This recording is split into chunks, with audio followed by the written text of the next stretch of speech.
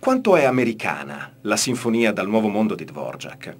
Fiumi di letteratura sono stati scritti sull'argomento già dal giorno della fortunata prima alla Carnegie Hall di New York, il 16 dicembre 1893.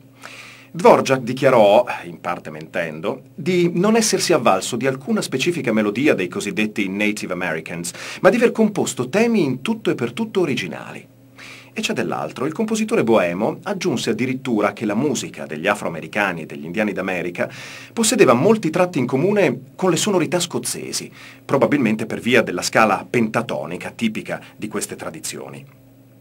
Leonard Bernstein, che più volte diresse con grande trasporto la Sinfonia dal Nuovo Mondo, dichiarò in tempi più recenti che non esisteva al mondo opera più universale di questa.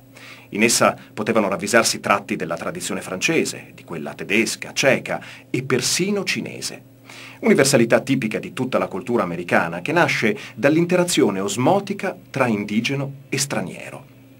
L'esperienza americana di Dvorak nel suo insieme è dunque un fecondo incontro di tradizioni e stili, testimoniando inequivocabilmente il dinamismo della società moderna, multiraziale, multilingua, multiculturale e progressista.